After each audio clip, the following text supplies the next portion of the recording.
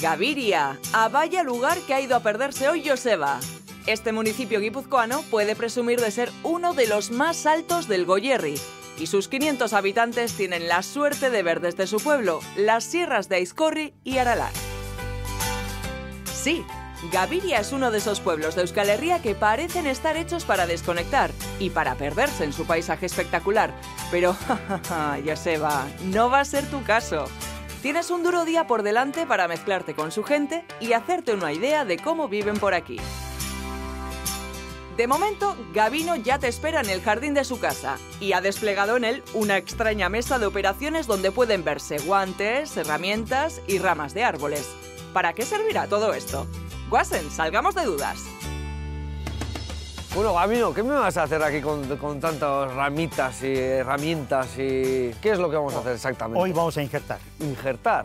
Sí, intentaré explicaros cómo se injerta. Eh, ¿Injertos de qué? ¿Qué variedad? ¿Qué, vamos a hacer? ¿O esto vale para todo? Esto vale para todo. ¿Esto vale para todo? Cualquier tipo de árbol, de variedad, se puede injertar, no solamente manzano, peral, cerezo, melocotonero, Vale, frutales. frutales. Frutales. Efectivamente, Vale. frutales. A ver. Bueno, tenemos porta injertos que Oliendo luego- no podría saber, ¿no? No, sería, sería difícil. Hay que entender bastante para saber, para diferenciar si es un manzano, es un peral ¿Esto qué o tienes? es un el- ciruelo. eh, aquí está hecho el injerto. No, aquí no está hecho el injerto. El injerto lo hice aquí en la, la última semana de agosto. Sí. Esta yema, esta yema que esta yema, se le llama yema dormida, Vale. está, está quieta hasta la primavera del año siguiente. O sea que si yo injerto la última semana de agosto, porque la savia tiene que estar en circulación, ahora no podríamos hacer Se este caería, tipo. no agarraría. Lo hacemos ahora y no ¿Cuándo agarraría. has puesto esto aquí? La última semana de agosto. La última semana Semana de de agosto. agosto. ¿Tiene que ser la última semana de agosto o puede ser la primera de septiembre? Eh, puede ser la primera de septiembre y puede ser la segunda de agosto. Vale, ahí, en ¿Eh? ese baremo. Vale. Si no hay savia en circulación, no se puede hacer este tipo de Con la injerto. luna, ¿nos vamos a fijar en la luna a la hora de hacer esto? En la luna,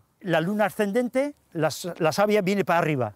Vale. Entonces, todo tipo de injertos lo haremos con luna ascendente. ¿Qué pasaría si hacíamos en descendiente? ¿Tenemos menos probabilidad que enganche? Efectivamente, Vale, eh, perfecto. menos probabilidades de que enganche, pero engancharía, Vale. si sabes injertar bien. Vale. Tú. Y si yo le pongo esta yema en este lado de Resil Sagarra y aquí un Gran Smith, ¿me saldría del mismo manzano dos manzanas diferentes? Efectivamente, tú le leche. puedes meter una yema de, Ahí va la de leche. Resi Sagarra, Sí. otra de Golden, otra de Reineta, otra de tal. Entonces, tendrías cuatro yemas, cuatro ramas. Y te harías una mermelada del mismo árbol de cuatro variedades. No, te explico si quieres aquí, con este tronco, que lo tengo aquí. ¿Qué haría yo? Vale. Cojo y le doy así en la corteza, le doy un corte aquí. Vale. ¿Eh? Bien, lo despego un poco. A ver, ¿qué es un, eh, una rama de año? Que se le llama también vara o vareta, porque todas las yemas son de madera. Vale. ¿eh? Para que sepas la distinción. Sí, que ahí no va a haber flor, es ah, donde no va a salir la flor. rama, ¿no? Ahí que tiene que salir la rama, Vale, efectivamente. vale. Tú sabes mucho, ¿no, Joseba, de esto? Bueno, no, ¿Eh? mucho no, pero tengo árboles, tengo árboles. Ah, bien, bien, bien, bien. En el Baserri, pero, Vale. pero nunca he hecho un injerto. Vale. Entonces, cogemos una púa, ¿Sí? púa de madera, más o menos, eh, lo ideal sería tres yemas. Tres yemas, vale. Pueden ser de dos, pero mejor de tres. What? Ahí tienes, suficiente. Sí. Tiene, como te das cuenta, tiene una yema, dos, Dos, yemas, tres. yemas que de aquí saldrán, brotarán ramas. Sí. Entonces, en este tipo de injerto, le voy a hacer un corte en bisel, solamente por un lado. Luego, cuando... Por el otro lado. por el otro la- lado, se de deja la, yema Vale. que tiene que brotar. Vale. Entonces, yo meto esto aquí, le meto una variedad de reineta del país, por ejemplo. Vale. Yo ahora cojo, le meto o hago de nuevo un corte aquí, Sí.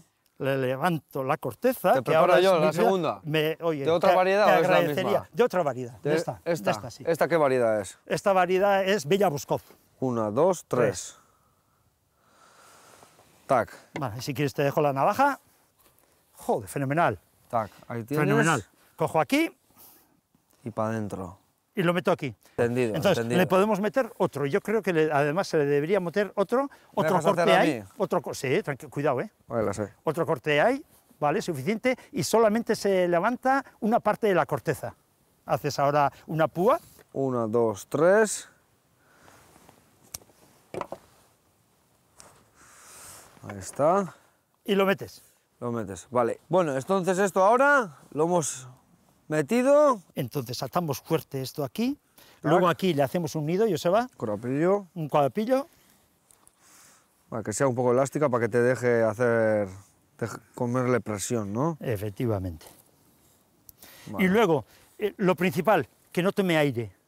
Si tomara, si entrara un poco de aire por Se estos seca. agujerillos, se seca. ¿Cómo entonces, entonces, ¿qué tenemos? Tenemos una pasta cicatrizante. Y lo tienes que sellar todo. ¿Esta parte también toda? Sí, sí, sí, todo. Todo. Eso tiene que ir bien sellado. Y si a los, a, a los días- dos días se ves que con la ¿Qué, porque lluvia le das de nuevo. le das de nuevo. Esto entonces así, ¿estaría ya hecho el injerto? Esto está hecho el injerto, lo haríamos en abril y a los 15, 20 años ya estas yemas empezarían a brotar. A los 15, 20 años. Eh, ¿Qué he dicho? ¿15, 20 Sí. años? No, 15, 20 Joder, para eso días. planto una semilla. 15, 20 días. 15, 15, 20 20 días. días. eh, tendríamos ya, de estas yemas, tendríamos unas ramas. Vale, vale, y vale. no- nos daría la variedad que queremos Vale, con esto es lo que hacemos es cambiar la variedad del árbol que tenemos. Efectivamente. Perfecto. ¿Y tú por qué sabes tanto de manzanas? Bueno, porque me gusta muchísimo, me gusta muchísimo. Llevo ya muchos años dedicando el tiempo libre a, lo- a los manzanos y luego aquí en Gaviria organizamos todos los años una feria extraordinaria, especial sobre la manzana reineta. Pues eso no es Erresil Saharra. Efectivamente. eh, ¿Qué en- en diferencia hay el de Reineta de Erresil? Ni una. Ninguna. Reineta del país es la Errecil Sa- eh, Sagarra. Vale. En castellano se dice Reineta del país y en euskera se dice Errecil Sagarra. Pues bueno, con lo que me has dicho, a mí ya me está entrando el hambre. No sé si, si tenemos algo para picar. Algo, algo habrá. Sí. Algo- manzanas por lo menos seguro. Perfecto, pues vamos a ver qué nos encontramos. Pues vale, muy bien. Solemos pensar que ya lo sabemos todo, pero ay, ama, lo que nos queda todavía por aprender. Gabino ha hecho una masterclass de naturaleza que le ha dejado a Joseba con la boca abierta. Y por cierto, qué ansia tienes con la comida, hijo mío, pero si acabas de llegar a Gaviria y ya tienes hambre. Vamos a ver si se te pasa con un poquito de acción, que ya sabemos que te van los trabajos manuales y si son artesanos todavía más. Y Juan ya lo tiene todo preparado en mitad de la calle para demostrar todo lo que sabe sobre la fabricación manual de abarcas. Bueno, Juan, ¿qué estamos haciendo aquí? Parece que albarcas, ¿no? Así parece. Así eso parece, ¿no? Bueno, antes se usaban estas de sin curtir, Sin curtir. porque estas ya tienen más de 80 años. Cuero sin curtir, cuero natural es ¿Y, y qué dife- Ah, cuero natural, o sea, curtido o sin curtir. Sin este está curtido. Curtido y ya con tintes, con- ya está con los colores y todo tiene.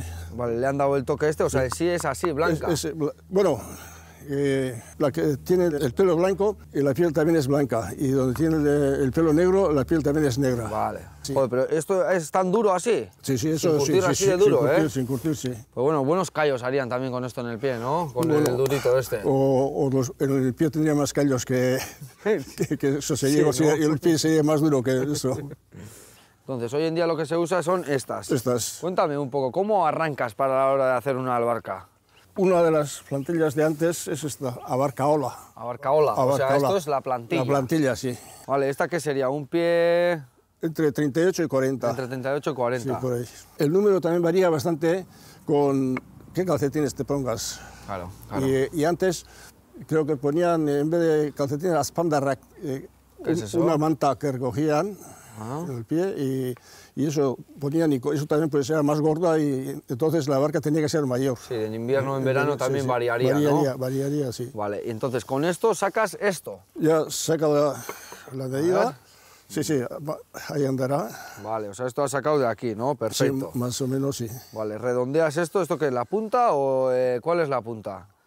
No sé, a ver, ¿qué te parece? ¿Quién, quién- quién puede ser la punta o el talón? A ver, a ver, a ver. Bueno, viendo aquí cómo tiene, parece que esto es la punta, ¿no? Sí, sí. Orrela. Sí, esto se cose al, al- al revés, Vale. luego se le da la vuelta y ya, Te queda el nudo dentro. ya el nudo dentro y esto pues ya vamos haciendo la barca. Poco a poco. Vale. poco. Veo que aquí tienes este otro paso con ya los agujeritos hechos, ¿no? Los agujeritos hechos, sí. Vale, y estos agujeritos, Pues hacemos con ¿cuál es la herramienta idónea?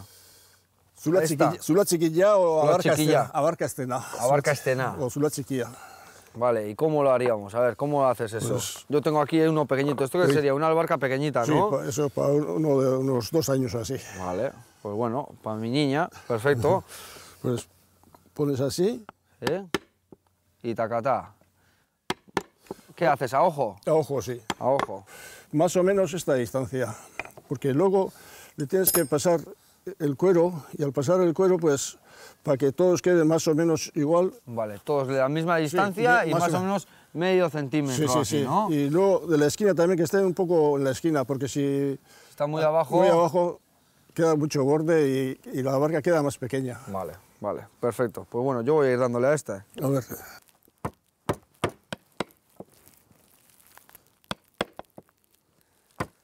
¿Tú desde cuándo has- haces albarcas? ¿Desde pequeño has aprendido? Bueno, el, el abuelo hacía barcas. El abuelo casa. hacía El- barcas, el abuelo ¿eh? hacía. Ah, Y con aquel, pues, acompañándole a aquel un poco, pues. Y luego, pues, estuvimos muchos años sin hacer. Yo estuve muchos años sin hacer. ¿Y luego cuándo has retomado? En serio, un poco serio, en 80. El año 63 o 64 hicimos una albarca de metro y medio así, de grande. ¿De metro y medio? ¿Eso para qué? ¿Para hacer chalupa o...? No, no. Eh, en, Rey- la, en la cabalgata de Reyes siempre se solía hacer con zapatos, eso. Y la cuadrilla, pues a algunos se le ocurrió, este, este año pues lo vamos a hacer con albarca. Hicimos una albarca de metro y medio así de grande y, con- y pusimos encima de una yegua con las cestas y arriba los premios. Los regalitos. Los regalos. En vez de ir esto, los zapatos, pues en las albarcas también que podían tener regalos. Se Regalos. se Vale, podía- para que pues, la gente ponga barcas también en, la- en el pino, ¿no? Pero después de acabar todo esto, ¿cuál es la siguiente pues, función o la- el siguiente paso para hacer la, La albarca? siguiente fase es coser así. Y se le da la vuelta, Vale, ya tienes la puntita, la puntita hecha, ¿no? hecha. Ya. Ya se le pone luego la cuerda esta, Vale, o sea, lo que estamos haciendo es el, el borde este. el borde este. La punta, ya le das la vuelta. le hemos puesto los ojos. ¿Le has puesto los ojos también? Sí. ¿Esto qué es? Esto es toque personal, ¿no? Antes, a los de los domingos, dice que le ponían a- ojos y a los que tenían que trabajar entre semana, los que andaban el caserío, eso, que no le ponían ojos. Qué curioso. Y luego, ¿cómo metes las cuerdas que hay que meter? Aquí arriba se le pone uno de dos, para que coja las dos, las dos partes y amarre bien. Vale. Y luego en las esquinas le ponemos los de uno. Le metemos aquí. ¿Del mismo agujero o le has hecho Sí, otro? sí. No, no, no, no. el Del mismo agujero. Vale, le pones así. Le damos la vuelta aquí Sí.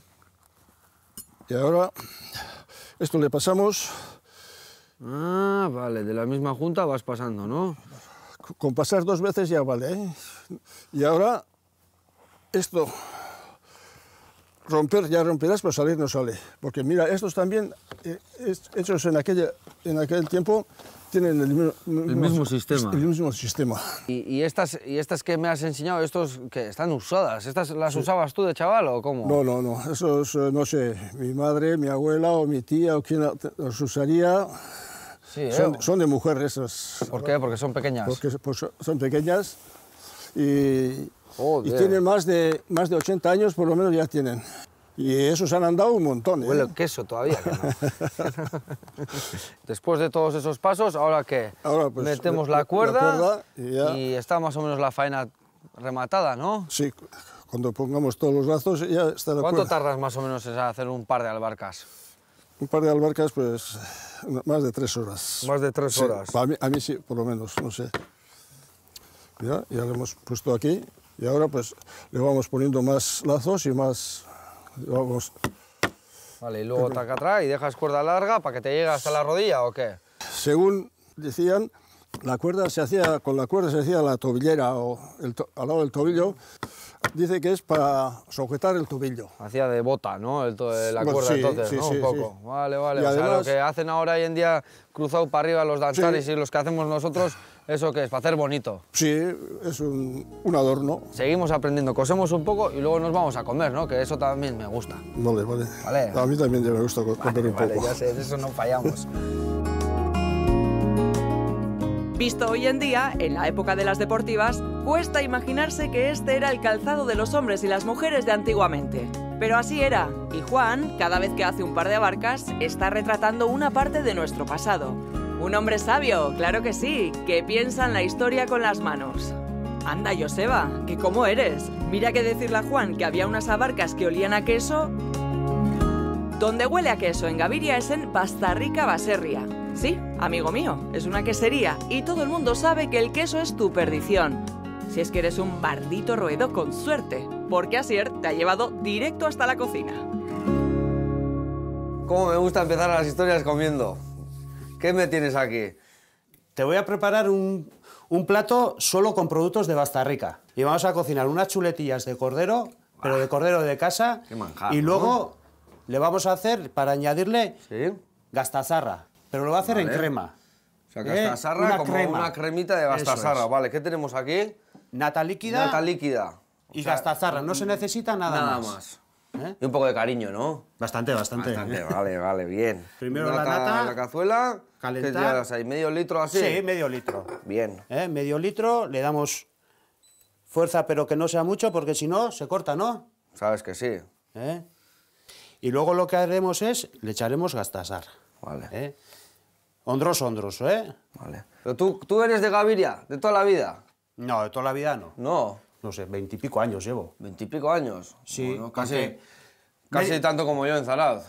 Bastante tiempo llevas. Media vida, media vida, Media vida. más de media vida llevo ya Vale, casi. o sea, vienes de, de dónde vienes? De Zumárraga vengo De yo. Zumárraga, vale. ¿De qué vivías? ¿En el pueblo? ¿Vivas en un baserri o...? Nosotros vivíamos en la calle, pero la teníamos, calle. teníamos baser. Mi- mis padres son de, de caserío, son los dos. ¿Ahí es donde le cogiste cariño a las ovejas o qué? Eh, no, No. Les cogí hasta rabia. Sí, ¿eh? Sí. Mi hermano tenía en Urrechu una chabola con seis ovejas. Y cuando él se iba de parranda o estaba trabajando, el que tenía que hacer los trabajos era yo. ¿Y qué iba? ¿Parranda así día, sí día? No, no, no, no era una barbaridad, pero sí que trabajaba eh, Vale, de noche, vale, entonces tenía que ir yo. Vale. Entonces, yo ese- en esa época a las ovejas casi les, les odié. Eso te digo con 14, 15 años, ¿eh? claro, sí. Mira, tengo una, una anécdota. Yo luego me fui a San Sebastián a estudiar. eh, en unas fiestas que había allí, eh, estaba- estábamos todos en los bares allí en la parte vieja. Tuve que dejar de estar allí con los amigos por ir a Urrechu a ordeñar las ovejas. Seis ovejas, ¿eh? Pero tuve que ir. Y esas cosas, pues, con esa edad, pues te... Te queda la chincheta ahí metida, ¿no? Eso es. Y luego, pues claro, en el caserío, pues teníamos que hacer todo a mano, no es como hoy en día. Me daban más trabajo las seis aquellas que las 300 que tenemos. Ahora tenéis 300. Sí. ¿Y eso cómo que, que dices cuántas hay? Eres el primer pastor que me dice lo que tiene. Y tú créetelo. vale, vale, vale. Créetelo. Unas 300, ¿no? Eso, vale, eso, vale, vale. bien. Yo ya sé el número que hay, ¿eh? Vale, vale. Mira, esto ya, mira qué, qué Sí, textura. ya he visto que ¿eh? cogió una cremosidad eso, ¿no? Sí. Y lo que voy a hacer es ya las chuletillas. Vale. ¿eh? Lo voy a dejar aquí en el, en el fuego este para que no se, no se nos enfríe, ¿vale? Vale, para la después. la económica es. y tiquitaca. Y esto ya está ya caliente. Entonces ya empezamos ya a poner A la chuleta. Bien, la música. Esta sí que es esa. música. Vale, cuéntame, ¿cómo caes entonces aquí en Gaviria? Pues ya sabes, de esas noches de, de un poco de fiesta, ¿Eh? pues nos conocimos él y yo. Él y yo. Eli, Eli. Ah, Eli él es, y mi, yo. Eli Vale, es vale, mi mujer. Vale, qué maravilla. Vale, historia de amor. Ya Eso está. es, Bien, eso es. bien. Y bueno, empezamos así y tuvimos la oportunidad de, de hacer una casa en Gaviria. Vale. Yo entonces trabajaba en una empresa de Legazpia. Surgió que Amelia, eh, mi suegra, Vale. nos comentó que, que iba a quitar eh, ovejas. O sea, tu mujer ya se dedicaban aquí entonces a las ovejas y al queso y todo esto un poco. Mi suegro sí. Tu suegro sí. Vale, vale. ¿eh? Le dije a la mujer, ¿y si cogemos nosotros? La casa por la ventana. Y me dice, Taca. tú estás loco, ¿ya sabes lo que vas a hacer con esas palabras? No, joder, pues, ¿qué? Si estoy trabajando a cuatro relevos allí, en Legazpia, está- estamos esperando a nuestro primer hijo. Yo estaba fijo allí. Cogí una excedencia de un año y medio allí Para hacer la prueba, ¿no? para hacer la prueba. Y la verdad que pasó el año y medio y no volví ni a decirles que no iba a volver. Sí, ¿eh? De lo, pero entonces súper bien. Yo lo que decía, yo vine aquí ya sabiendo ordeñar las ovejas, que no, Claro. que no mucha gente puede hacer eso. Saber ordeñar a mano, ¿eh? O sea, tuvo suerte tu mujer, ¿no? No sé. Eso igual luego, que luego le preguntas a ella, a ver lo que te dice. Y aparte del lío que tienes aquí en el Baserri, ¿tienes algún hobby? Tengo uno que a mí me encanta y que he intentado inculcar un poco a mis hijos, que es la música. Ostras, ¿músico eres? No, soy músico, músico... Bueno, sí, músico. Sí, músico. Vamos a dejarlo en músico. Bien, bien. Soy, soy percusionista. Por eso te digo más que lo de- músico, más que músico. Eh, a, los, a los músicos de instrumento le dices y te dicen, vosotros no sois músicos, sois pegaparches. Vale, Por eso. Bueno, pues ¿y qué, qué tipo de instrumentos tienes entonces? ¿La, ¿Tendrás de todo? Muchos. ¿Muchos? ¿Qué, ¿Quieres verlos o qué? Sabes que sí. Venga, vamos pues. Wasen va. Espera, voy a quitar estos del fuego, ¿vale? Quitar igual comer uno también en el camino, ¿no? Sí, está muy caliente, ¿eh?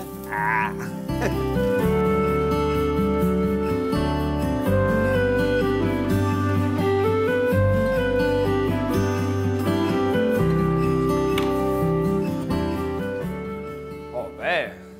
Mira todo lo que tenemos. Sí que ¿Qué te parece? instrumentos, ¿eh? Cago en sos. Vaya fiestas os montáis aquí, ¿no? Ah, no hay mucho tiempo para fiestas.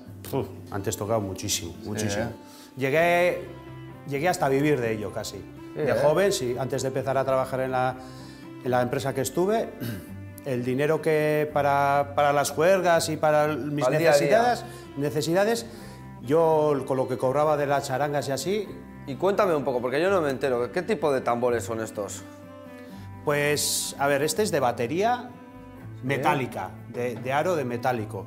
Y estos dos son de batería, pero de aro de madera. Vale. Esta es la primera caja que, que me compré con 15 años y esta es la que me compré con el primer sueldo íntegro de la empresa donde trabajaba. Pues ahora con lo que veo aquí, lo que quiero es verle los animales, las ovejitas, cómo hacéis el queso. Tú ya sabes dónde está la cuadra, ¿no? Sí. Pues bueno, vete que está esperándote allí Eli.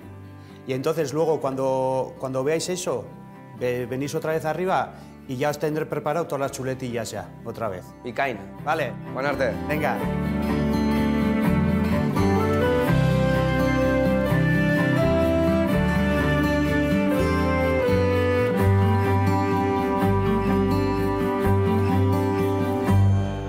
Bueno, Gabino, ¿dónde estamos y qué vamos a hacer? Bien, pues estamos ahora en la sociedad Herbie. Podemos preparar, si te parece bien, un revuelto de hongos recogidos por, ¿Por mí. Sí. Este año no ha habido hongos y algunos siempre recogéis. No sé cómo Eh, hacéis. Hemos recogido en Irati. En Irati sí que dio un golpe bueno. Eh, generalmente, si graniza mucho en un sitio, a los 10, 14 días da un golpe bueno. Vale, no cuentes más, no cuentes más, No, no no, no, no, Vale. voy a dar más tiempo. Pues Vale. vamos a preparar un revuelto, sí. ¿En qué te puedo ayudar? Pues me tienes que pochar un poco la cebolla. ¿eh? Tienes aquí la cebolla, lo tienes ahí. Vale, pues de yo casa, corto la cebolla La roja. y vamos haciendo, vale. Sí. Y, luego tenemos que preparar una ensalada también. ¿eh? Ensaladita, vale. Si quieres yo voy cortando esto y tú vas rematando la ensalada. Eh, bien, me parece bien. Yo siempre que como lechuga le añado una manzana reineta. ¿Y eso para qué? Para la digestión. Y, y entonces, ¿tú por qué tienes tanto arraigo, sabes tanto de manzana? Bueno, pues yo de pequeño ya mis padres, hasta el año 60 algo así, solían ir a vender manzana a Oñati, a Legazpia, a Zumárraga y a Oñati, que hay 19 kilómetros por carretera, iban por dos atajos, unos 15 kilómetros andando, iban con el burro. Eh, y además otoño-invierno, ten en cuenta, a veces había nieve, heladas fuertes y hacían todos los sábados 15 kilómetros con el burro para vender manzanas O sea- en Oñati. Pues aparte de la riqueza de tu casa, del caserío, era la manzana. Principalmente cuando iban a la feria de Oñati a vender manzana, luego compraban aceite o mi padre me dice que compraba mucho chocolate. Pero no solamente mis padres, o sea que la mayoría de la gente que vivía aquí en el caserío quedaban a las 5 para ir a Oñati todos juntos. Entonces, todo esto de la manzana que has aprendido viene de vuestros padres. Eh, no, no todo de mis Tú has padres. indagado más. Sí, he indagado más. eh, bueno, te voy a contar, había un santanderino que vino a- aquí a hacer entresaca. Entonces sabía muchísimo de árboles frutales, no solamente de manzanos, de árboles frutales. Me enseñó mu- muchísimo y, y aquel, aquel los, eh, los sometía a todos los árboles, los tenía muy bajos. Santiago sabía muchísimo y Santiago solía andar por los caseríos de aquí Puedo injertando y sí, echa. Vale, entonces, este es lo que decía que es, que los árboles tenían que ser bajos. bajos. ¿Por qué? Que había ¿Para que, entre más luz o para que no pueda, para que no tengas que ir tan arriba por ellos? eh, por ambas cosas. Lo principal es, en- cuando estamos eh, podando un árbol, tiene que entrar la luz. Y además está el riesgo que si le dejas crecer demasiado a un manzano, si andas tienes que andar recogiendo con escaleras o tienes que subir al, al árbol, no interesa. Entonces, este, todos los árboles los tenía muy bajos.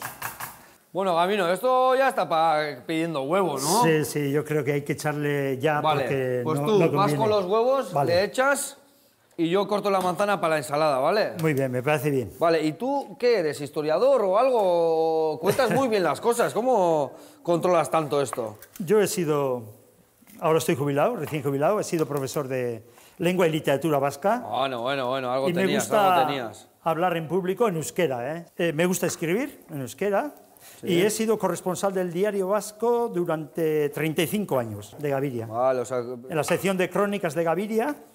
Entonces yo me di saca cuenta, eso, saca, que se seca. yo me di, yo me di, Muy bien.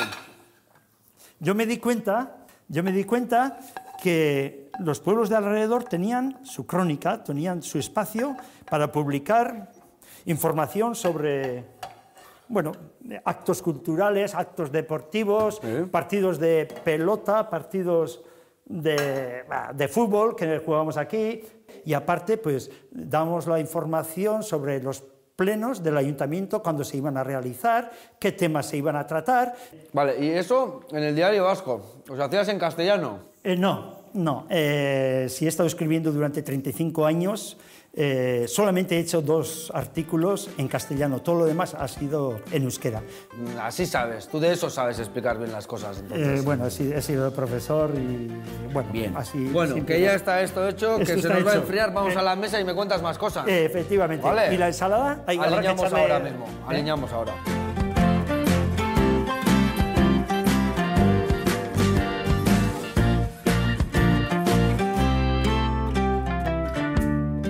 Vamos a hacer algo para comer, ¿no? Siempre viene bien. Siempre hay hambre, ¿no? Siempre viene bien la Hambre no sé, pero apetito sí. Bueno, apetito, sí. Bueno, voy a hacer unas berenjenas con un poco de bechamel y llenas de verdura. Lo primero que vamos a hacer es poner esto así, para que no se ensucie. Apoyarla así, que no se mueva, y donde no se mueve, corte por la mitad, pues corte por la mitad. Bueno, esto les echo un poquito de sal y al horno, que se vaya asando poco a poco. Y ahora lo que vamos a hacer es poner la verdura a pochar, ¿vale? Y mientras que se vaya asando la berenjena, se pocha la verdura al mismo tiempo. Lo de los artesanos, esto se lleva en la sangre, ¿no? Bueno, no sé, no sé. ¿Dónde has aprendido tú lo de hacer las albarcas? Las albarcas con el abuelo. ¿Con el abuelo? El abuelo hacía abarcas y... de- Entonces de- en de- casa, ¿no? Sí que lo llevas en la sangre un poco, ¿no? Sí, será. Era el hombre bastante mayor y acompañándole a aquel, pues así. Y luego, pues ya dejemos, cuando tenía unos 15 años, hasta casi a los 35, casi a los 40 años, ya dejemos, ya, de- ya olvidado todo, ya... Porque antes usaban para el caserío también, pero luego ya cuando vino la goma, pues ya no se, Ya no se usaba. ya no se usaban. Del 55 al 80 ya estuvimos sin hacer nada. Ah, o sea, ahí hubo un 30 años que no hicisteis no, albarcas. no, no. O sea, no hacía falta y era No, como... no, no. Y luego en Urechu, Sí. eh, fiesta, el día de la fiesta vasca, a, la tarde suele haber carrozas, como ahora también suele haber, pero entonces también, y a la mañana pues que estaba esto y pensaron hacer feria de artesanía con los del pueblo. Vale. Y nos dijeron a nosotros, pues bueno, vosotros, el padre hace, o con la lana hace el hilo y, y luego la madre pues hace calcetines y tú haciendo albarcas y otros haciendo talos, otros haciendo o sea, queso. Aquí, eh. o sea, aquí en casa hacíais vosotros la lana, el hilo y, y todo. Sí, sí, en, eh, Jope. en, en Urrechu, eh, en el caserío En el de Urrechu, sí. Y ya que estábamos allá, pues uno nos dijo, "Joder, esto es bonito y esto tenéis que seguir haciendo y de aquí a 15 días hay kilómetro que en Tolosa. Y O sea, ahí te- empezasteis con todo el tinglado. tenemos que, tenéis que venir allá. Y, bueno, hasta Tolosa, pues otro más. Y luego, pues luego empezó Santa Lucía, Santa Masac, y ahí ya, pues de ahí adelante, pues ya, bueno, O sea, muchas habéis- o sea, por la historia esta os habéis movido mucho Sí, entonces. sí. Los padres poco, el los padres no se movieron mucho porque ya eran mayores para entonces también y aquellos fuera no iban, siempre se quedaban en el pueblo. ¿Pero cómo afuera? ¿Afuera también os ha Bueno. tocado ir a hacer las albarcas o qué? Sí, en Londres ya pasemos una semana. ¿A Londres? ¿Hasta Londres a hacer albarcas? Sí, sí, a Londres ya pasemos una semana. Joder, qué curioso. ¿Y ahí qué, cómo que hicisteis Bueno, en Londres el, albarcas? el gobierno vasco organizó una, fe- una feria en, en Londres y treinta y tantos, 32 o 33 estuvimos artesanos allá. Pasemos una semana y, bueno, una experiencia más fue aquello también. Pues entonces, bueno, te has jubilado, pero has hecho un homenaje al abuelo, que es lo que hacía, y estáis siguiendo con esto, porque para mí es algo extraordinario que haya gente como tú, algo que, Pues- que sabes que no vas a poder vivir de eso, pero que No, estáis enseñando al mundo cómo se hacían las cosas aquí, ¿no? Pues sí, sí, eso. Y yo no he conocido a ninguno que, que esté haciendo albarcas así en ferias, muchas ferias, cantidad de ferias se han dado, pero nunca he visto a ninguno haciendo albarcas de esta forma. Vale, pues mira, yo ya tengo las berenjenas en el horno, la verdura pochando. Luego te digo cómo hacemos la bechamel y rematamos la jugada. Y me sigues contando más historias en la mesa, ¿no? Intentaremos contar, a ver. Claro que sí, Joseba, que la artesanía es algo que se lleva en la sangre. Le pasa a Juan, que hace abarcas igual que hacía su Aitona. Y te pasa a ti cocinando, porque Aita te ha metido el veneno de la gastronomía. Porque vaya platazo que te has sacado de la manga, Arguiñano. Mmm, se come con los ojos. Pero en fin, todavía hay que hacer más hambre. Y ya sé que estando donde estás es difícil aguantar. ¡Fuerza, compañero! Mientras Asier ultima las chuletas de cordero con salsa de gaztasarra, Eli te va a enseñar el lugar donde tienen las ovejas, muchas de ellas recién paridas. ¡Viva la vida! Me han mandado aquí abajo y... ¿Cuántos corderitos tienes? No veo nada más que Pues, corderitos aquí. En este momento hay 235. Están, 200. sí, Joder. están naciendo ahora y bueno, es un poco locura porque están en 10 días o así han nacido ya todos. Vale, entonces estos días aquí andaréis 24 horas al pie cañón, ¿no? Sí, hay que estar encima de ellos porque normalmente paren bien solas, pero hay algunos que hay que, hay que ayudarles. Y me ha dicho que, que esto viene de tu familia. Sí, yo soy la tercera generación de mujer que estoy en el caserío. Antes estuvieron mi abuela, luego mi madre y ahora estamos, esto- estoy yo con Asier. Vale, esto es un poco raro, ¿no? Porque antes siempre decía del abuelo, el pastor, ¿y por qué vosotras las tres mujeres aquí, las, Pues- las emprendedoras de Pues esto? no sé, no sé, pues aquí ha sido así. ¿Ha tocado así? Sí, sí. A la, mi abuela no le gustaban mucho las ovejas, pero a mi abuelo sí. Entonces el abuelo estaba con las ovejas y mi madre aprendió de, de él. Teníamos vacas también, pero llegó un momento en que la ama decidió dedicarse solo a las ovejas. Y de- pero siempre ha estado, te han tenido un pabellón tan grande y se han dedicado... No, eh, el caserío tiene su historia, porque cuando mi madre era pequeñita, tenía unos 12 años o así, se quemó el caserío. Cuando tú tenías 12 No, años, mi cuando madre. ella tenía 12 años, vale. Se quemó el caserío y lo tuvieron que hacer, em- tuvieron que empezar otra vez de cero. Estuvieron en otra casa viviendo mientras que arreglaban eh, el, o sea, remontaban, reconstruían otra vez eh, el caserío y luego ya, pues, ya cuando hicieron vinieron aquí y el pabellón se hizo cuando mi madre decidió eh, quedarse, eh, empezar con las ovejas. Y solo dedicarse a las Eso ovejas, es, ¿no? eso Vale, es. vale. O sea, la ma es la Sí. fundadora de todo esto. Eso es, eso Vale. es. El Aita también ayudaba mucho, pero trabajaba fuera eh, en una fábrica, entonces Vale, entonces con lo que tú me has contado, tú has nacido aquí y, y- y no has salido de aquí. no, he, he salido. ¿Has salido? Sí. Has, has vuelto. Eso es. Vale. Sí, porque a mí con 14, 15 años, si me hubieran dicho que hoy estaría aquí, les hubiera dicho que, que ni pensar. Que no. No, no.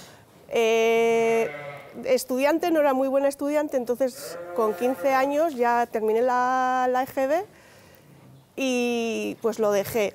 Eh, dejé de estudiar y empecé a trabajar en una casa cuidando a unos niños.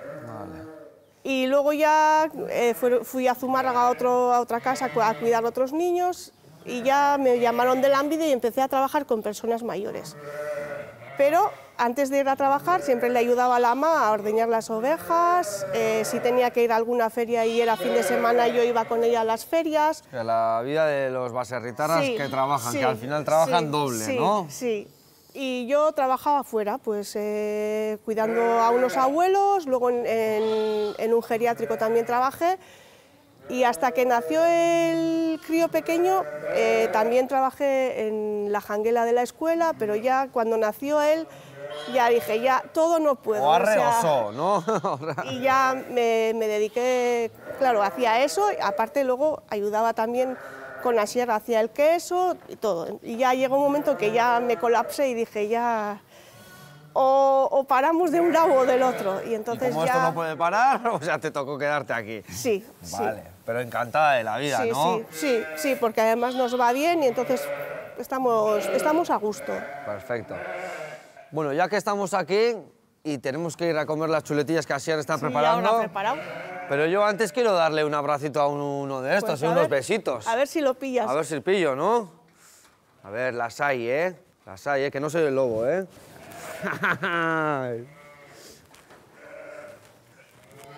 La 226. ¿Esta qué es? ¿La que ha nacido en, de las últimas? Sí, sí. ¿No? sí, 226, sí. me has dicho Pues 200 esta pico. nacería pues hace cuatro días o así. ¿Hace Tres, cuatro días? Tres, Joder. cuatro días. Así de suave está. Bueno, le voy a dejar tranquila. ya verás que pronto encuentra a su madre.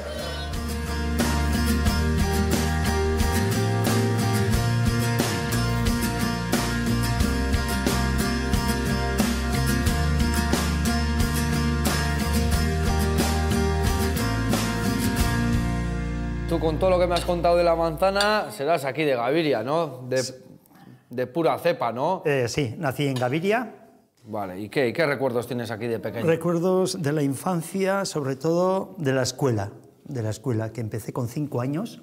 Todos los chicos estábamos en una escuela de chicos y las chicas aparte en una escuela de chicas. Y nunca, ni- nunca hacíamos ninguna actividad eh, conjuntamente los chicos y las chicas, menos en el comedor, porque a la hora de comer sí que al comedor íbamos todos juntos.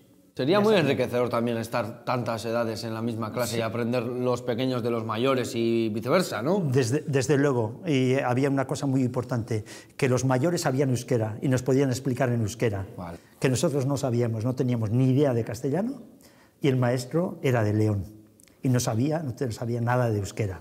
Ya de entrada un poco mal. De ya entrada, de entrada mal. de entrada, un poco mal, ¿eh? un poco mal, pero así era aquello. Entonces, luego has dicho que te fuiste con 17 años a, a Donosti. A la universidad. O sea, aquí estuviste hasta los 16 años. No, eh, yo aquí estuve hasta los nueve años, de seis a nueve años, y con nueve años fui a Vergara porque aquí no había bachillerato. Y luego ya a los 17 años fui a, a San Sebastián, a los EUTG, que ahora se llama Deusto. Fui a estudiar filosofía y letras en filología hispánica porque filología vasca no había todavía. Recuerdo que Pachi Altuna, de Azpeitia, miembro de Euskaltzaindia, el segundo año me dijo, oye Gabino, tú eres de Gaviria, ¿verdad? Sí. En Gaviria tenéis que hablar perfectamente el euskera. Tú tienes que empezar aquí a dar clases de euskera. Y le dije, Pachi, ¿cómo voy a empezar yo a dar clases de euskera si yo nunca he dado clases? Es igual, eso es, al principio te pones un poco y ya está, empiezas a dar clases de euskera. Y ya en el segundo curso empezamos, había escuela de idiomas, EUTE que tenía escuela de idiomas, y empecé ahí a dar clases de euskera. Con 19 años. Con 20 19 años, 19, dice- con 19 años ya, y por dar los cursos de euskera, toda la carrera la hice gratis. Por ser profesor de la escuela de idiomas, no te cobraban la carrera.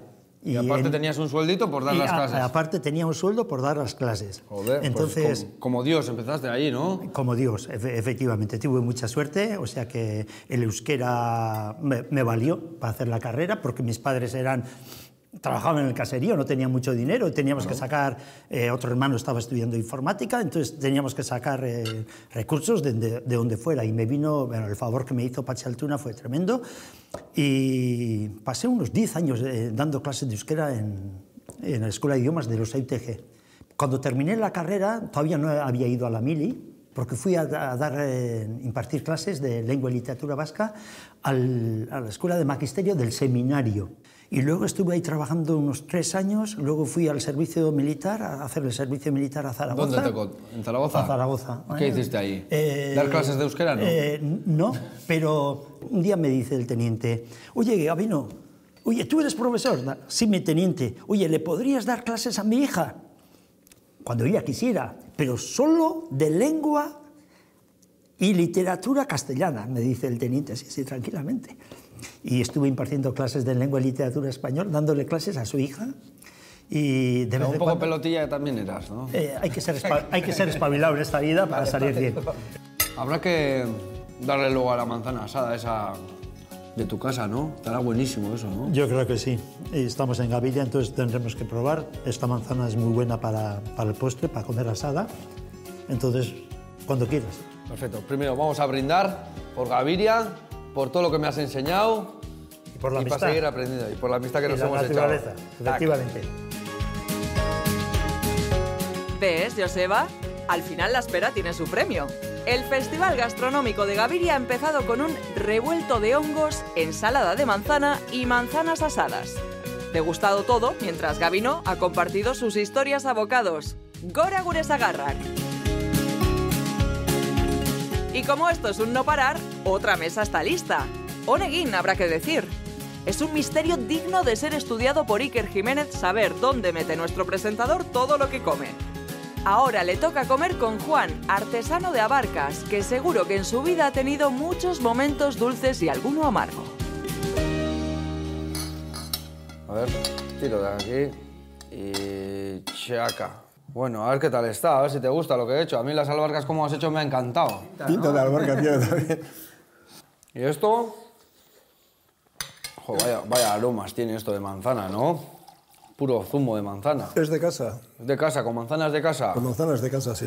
Joder, qué lujo. Y Juan, cuéntame, ¿tú eres aquí de Gaviria? Bueno, ahora sí, pero antes no. Vi- Vine a Gaviria aquí, sí, hace 44 años. ¿Y qué viniste? ¿Por amor o porque, por trabajo o por qué? Habrá que decir por amor. Por, Por amor. ¿Y, y tú de dónde viniste? Yo de Urrechu. Llegaste aquí y te pusiste a la empresa a trabajar. Sí, cuando me casé, pues fui a trabajar a, la empresa a Patricio Echeverría o Bellota Legazpia. Vale. Y 20 años estuvimos- estuve trabajando allá y el año 92 hubo una reducción de plantilla y a nosotros hasta de 52 años adelante a todos nos jubilaron. Joder, o sea, con 52 años, 52, sí. sano, fuerte, te jubilaron. Sí, sí, sí. La jubilación pues era cosa muy bonita, muy esto, pero los- todavía los tres hijos andaban en la escuela y eso es... Ya había que tener un había poco de que- dinero, sí, ¿no? Sí, y cuanto más jóvenes nos jubilaban, era más baja. Más bajo el- lo que habías cotizado, Lo ¿no? que habíamos cotizado y lo que podíamos cobrar. Claro, claro. Y luego, pues, poco a poco, pues pusimos lumagorris o pollos Ah, o sea, te lumagorris. has dedicado a, Sí. a poner pollos lumagorri. Sí, desde el 2001 ya pu- pusimos y en marcha y todavía después seguimos. O sea, todavía seguís. Seguís. ¿Y tú eres el pionero, el que sigue con los lumagorri o algún hijo Bueno, es el que lleva eh, la ya, jugada? Ya los hijos, ya... Los bueno, hijos. les echamos una mano, pero los hijos llevan... Vale, ya- tú controlando, ¿no? Controlando en la salsa. lo que hacen mal, decídmelo lo que hacen mal, lo que, lo que hace, claro, lo que hace un gerente, lo que hace un gerente, bien. ¿Y a Fátima cómo la conociste? Bueno, como se conocía no, muchas, muchas... La verbena, el baile... Verbena, o... Que, eh, o, o las, en romerías o en fiestas de los pueblos o por ahí, pues nos juntábamos, otras veces no, y otras veces sí, ya, pues luego pues hasta que, que resultó la cosa ya bien. Vale, o sea, un día ya te dijo que sí, de verdad, ¿no? Sí. Entonces, ya estáis aquí toda la familia, jubilaos, los hijos, todos estáis por aquí. No, no, la Fátima hace cuatro meses que falleció. O sea, hace cuatro Con- meses. Con, con una enfermedad bastante larga y dura, pero hace cuatro meses falleció. Pero sos. los hijos y la familia pues está aquí, bueno, tres hijos. ¿Tres hijos? Tres hijos. Ivonne, Jonander y Josu. Vale, ya estarán mayorcitos, ¿no? Sí, el mayor ya tiene un hijo de ya de 16 años, tiene tres hijos el mayor, y el pequeño también tiene otros tres hijos, Joder. y el del medio pues todavía está a la espera, no sé. Me siento muy arropado por ellos. Vamos a hacer un brindis por Gaviria, por las albarcas y por Fátima, que dicho. Vale,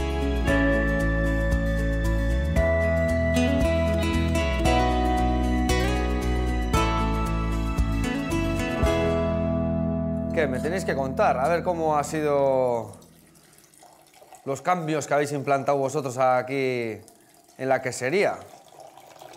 La quesería no hemos hecho algún cambio que otro, po- pocos. La salmuera, La salmuera hemos y cambiado. pusimos el, el mayor cambio que hemos tenido ha sido cambiar los partos. Sí. Vale, eso me ha extrañado a mí, que cuando he visto ahí los corditos recién nacidos he dicho, jope, ¿y estos en Navidades qué, qué? ¿No han vendido corderos? No, Pues no. no porque creemos, creemos que el precio que tiene diferencia en Navidades, porque la gente lo hace por eso, porque es más caro, la diferencia que tiene el cordero en Navidades y después no es No es tanto, como para el trabajo que supone. Ya. Antes, cuando, pues hace 50 años así, los partos, ¿cuándo eran? Sí, más a estas fechas, ¿no? Eran a los primavera, ¿no? San José. Claro. ¿Y eso qué, qué O hacía? sea, habéis vuelto al ciclo natural un poco más, ¿no? No, no, no tanto, no tanto porque si no luego se nos alarga demasiado. Vale, ¿no? el natural sería ya más en primavera, ¿no? Sí, porque empiezan a comerlo de fuera, tienen comida suficiente fuera, entonces no le tienes que dar dentro tanto, tanto de comer. Pero lo que se hacía era, porque la gente necesitaba corderos en, en Navidades, la gente empezó a... Y también la gente que, que sube al monte, eso también ¿eh? hay que decir. La gente, hay gente que sube al monte que necesita que las ovejas estén igual o secas o... Para cuando suben al monte, Vale, pues ya en Que no abril o cuando viene el buen en- no tiempo que con unas ubres en- con mucha Claro, leche. claro, claro. Entonces, que ya sea temporada ya de finales de campaña, digamos. Vale, y vosotros tenéis la oportunidad de tener aquí, de pastorear cerca de vuestra casería, No ¿no? nos queda otro remedio. No nos queda otro remedio. No, porque Gaviria en sí no tiene pastos comunales. Ya. Entonces tenemos que apañarnos con lo que tenemos en casa y luego arrendamos Algunas pues, tierras, algunas las, tierras las que de- se pueden se arrendan Vale. y ya está. Que vamos a pincharle a esto, Sí. ¿no? Y luego échale, échale un poco de salsita ahí. Con esto. No, ya, esto no, ni pensar. Que estos, ¿Qué es luego ya verás, te voy a demostrar lo que es esto. Que las cuchara. cucharas, las cucharas no solo valen para coger comida, para más también. Vale, vale, vale. ¿Por encima? Sí. Trrra. ¿Y cómo repartís el trabajo? Pastor, quesera, Todo, todos. todo, todos. Sí. Joder, pero eso pues, se puede discutir mucho así, ¿no? Pues ya sí se discute, pero, pero así- pero eso es vida. Bien, no vas a bien, estar todo el día. "Mm, No, también hay que hacer un poco de. ¿eh? Sí, pero bueno, si y cada uno no tiene su tarea definida o un poco ya tendréis alguna Algunas cosilla. cosas sí. Con los corderos estamos en la cuadra los dos. Vale. Pero ya cuando no hay corderos, ordeña él solo normalmente. Bueno, momento queso. Qué maravilla. Mira, tengo una anécdota, no sé si la conté, pero mi- un hermano mío se comió un bocadillo de 3.000 euros de queso. Mi padre cogió en la feria de Iazabal el que ganó, lo llevó a casa y el día siguiente vino de juerga y se hizo un bocadillo con ese queso del campeón, tú. Así, así hay que hacer. Y a mí no me jodió, me jo- no me jodió porque se comió la de 3.000, pues me jodió porque no me comí yo ese queso. No te dejó nada. no me dejó nada. Bueno, pues. ¿Quieres hacer tú los honores o los hago yo? A ver, haz tú, que seguro que tienes arte. ¿Qué le has dado la vuelta? ¿Porque tiene la etiqueta o...? No, o- eh, es más- manía. manía. Se parte mejor. Sí. El otro es más, más liso para que se apoye, es. ¿no? ¿Eh? ¡Wow! ¡Wow!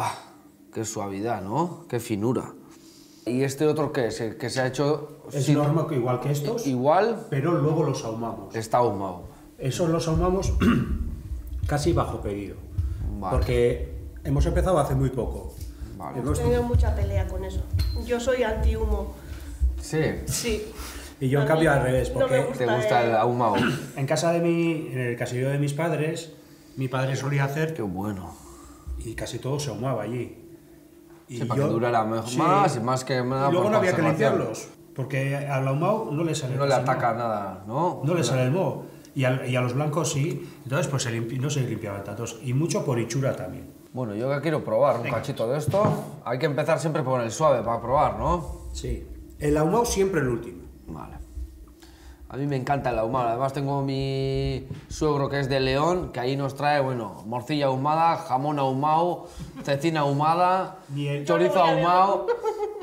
Uno de, la- de esta tanda fue el que presentamos a- al, eh, al concurso de Guipúzcoa. Y nos dieron el tercer premio con este queso. Oh. ¿Y sois asiduos a ir a campeonatos a- de quesos y Todos los años. todos los años vais? Sí, eh, al de Legazpia y al de Ordicia todos los años. Y luego hay otros durante el año que también solemos ir, Eh, Neibar también. En Eibar solemos ir también. Todos los años. A la feria y el que va a la feria Feria. tiene derecho a, A presentar. par- a presentar el queso. A Guernica también solemos ir. Sí. Nos presentamos a todos, pero no somos de los que. Bueno, ganan. Todos los años ganan alguno. No. Vale. No, pero. Pero alguno ha caído. Sí. Alguno ha caído. Joder, con una sonrisa No, así, cada vez Como son pocos. Más que. Yo creo que nos han dado más premios eh, los que se han hecho como catas populares. Eso es muy importante, Y- ¿no? sí, Porque los sí, jurados son es- muy profesionales. claro, Muchas veces el claro. popular es el, Claro, y el los que de la compra cata- el día a día, ¿no? Claro, A mí los que, que la gente de la calle me diga que tu queso es el mejor. Es Eso muy es, importante. la leche. El otro también es muy, muy Igual o más, igual o más, igual, Pero igual. el que me venga a casa la gente, por ejemplo, nosotros más de la mitad de, de nuestra producción la vendemos aquí en el caserío. Y luego, pues eso, las carnicerías, tiendas Vale, pequeñas, vale. no vendemos a grandes superficies. Vale, clientes, restaurantes, Sí, y re- y eso es. Venta sí. directa y ventas cortas muy, Vale. y de poco, de poco género. Bueno, nunca mejor acabar comiendo queso y si es tan bueno, pues mejor todavía. Vamos a brindar por Gaviria, Por. Costa Rica y porque me hagas algo de música ahora, ¿vale? Con lo que te he dicho antes, que las cucharas no solo son para comer. Pues sí, parece mentira que después de todo lo que ha jamado Joseba en Gaviria haya tenido hueco para degustar todos esos quesos de campeonato. Si no es un milagro, poco le falta. ¡Qué tío! Pero también se va lleno de las historias de Gaviria que se ha zampado a bocados. Las de él y Yasier, pareja de queseros y pastores que tienen las ideas muy claras sobre cómo hacer unos quesos de aupa. Las de Juan, un filósofo de la artesanía, porque piensa y habla con las manos cada vez que hace abarcas igual que las hacía su abuelo. Y las de Gavino, un hombre sabio que ha escrito una crónica exacta sobre cómo es el mundo de las manzanas en Gaviria. ¿Cómo se lo pasa, eh, Gure Joseba? Y espera, espera, que todavía faltan los momentos musicales, con dos cucharas de palo.